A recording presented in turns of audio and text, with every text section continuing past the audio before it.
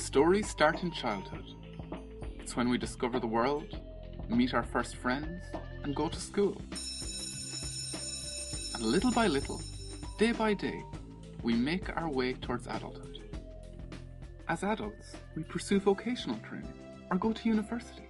We choose a career, we find a job, move into our own home, or maybe start a family. For people with autism, it's often a very different story. Autism is a lifetime condition of the brain that affects each person's ability to understand the world around them, communicate with others, and interact socially. Autism is a spectrum disorder, meaning that people with autism share common traits, but autism affects each person in a different way. Approximately 1% of people have autism. This means one in every 100 people. People with autism face discrimination in all aspects of life. They are denied access to education, equal employment opportunities, and the possibility of living in the community with everybody else.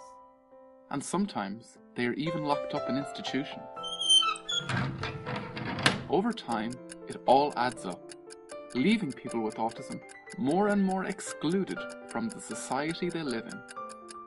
Under the United Nations Convention on the Rights of People with Disabilities, people with autism have equal rights to enjoy life just like everybody else. These include rights to education, employment, and support. Given access to adapted education and the appropriate support, people with autism can make use of their strengths and live up to their full potential.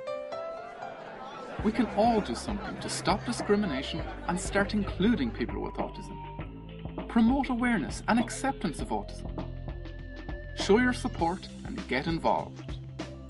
Post a message in support of World Autism Awareness Day. Share it on Facebook or Twitter with the hashtag Autism Day 2015. Autism. Stop discrimination.